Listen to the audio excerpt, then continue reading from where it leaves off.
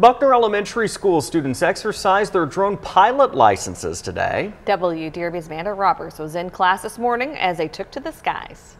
It's an exciting morning at Buckner Elementary School because we are learning with Ian and Colin how to fly drones. What I love about it is that we get to learn. If you ever want to be a pilot, this is kind of practice. You get to learn how to steer. Learning how to steer. All right. Do we all have fun flying drones? Yes! I like crashing them.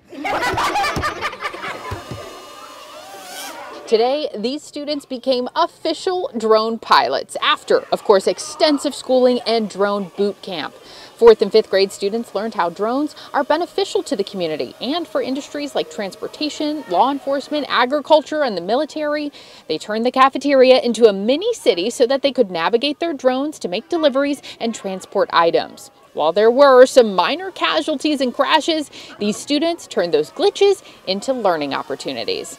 Mrs. Holly Dunnigan says their problem solving, computer programming, and navigation lessons they learned in their STEM classes will help develop the skills they need in life.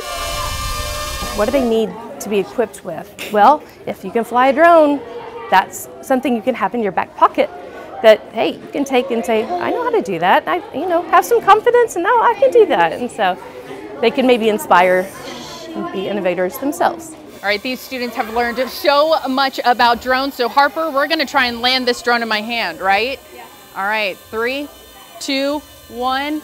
Ooh. Stuck the landing. Awesome job.